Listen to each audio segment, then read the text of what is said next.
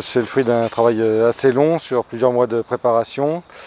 la compétition en elle-même, c'est trois semaines et demie de compétition. C'est sensiblement 600 matchs joués, 270 heures de sport sur trois semaines et demie, 120 jeunes qui participent, près de 340 adultes inscrits.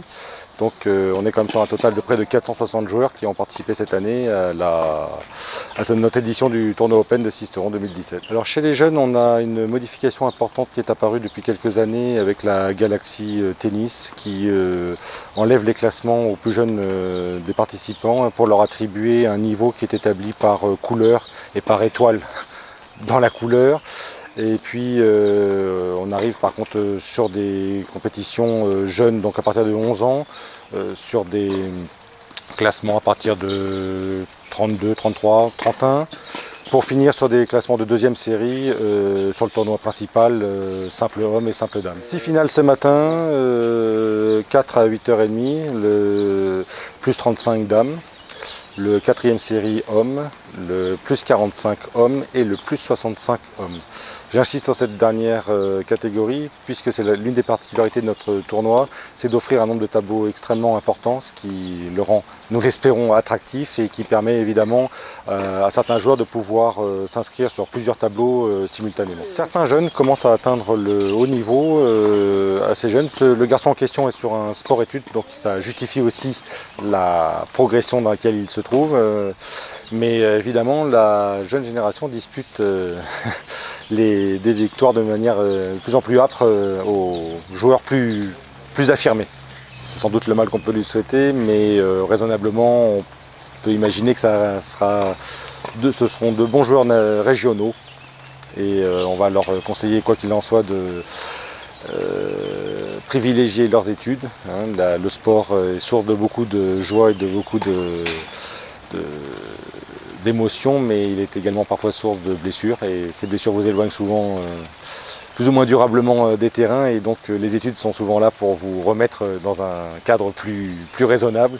Mais ce sont des joueurs qui peuvent évoluer à très bon niveau régional, hein, voire même niveau national sur certaines catégories de, compétition, bien sûr. Eh bien, sensiblement 180 adhérents, deuxième club le plus ancien de la Ligue de Provence, un peu plus de 94 ans d'existence. Euh, quatre cours extérieurs, euh, refait à neuf il y a deux ans, un très très beau cours couvert euh, réalisé il y a trois ans par la commune de Sisteron.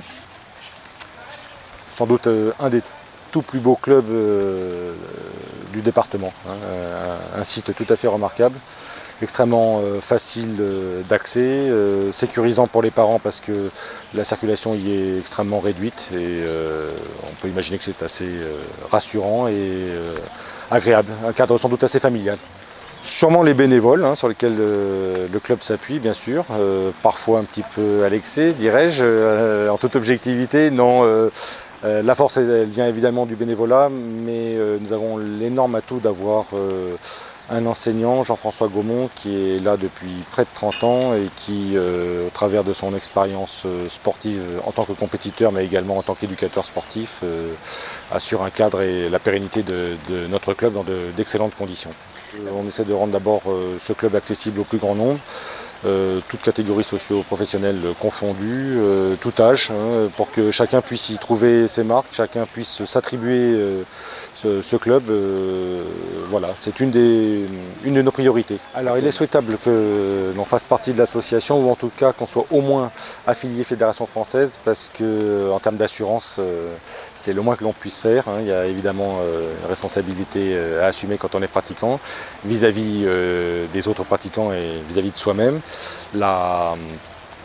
L'accès est évidemment euh, possible sur du tennis loisir, sur du tennis euh, à, usage à destination de compétition.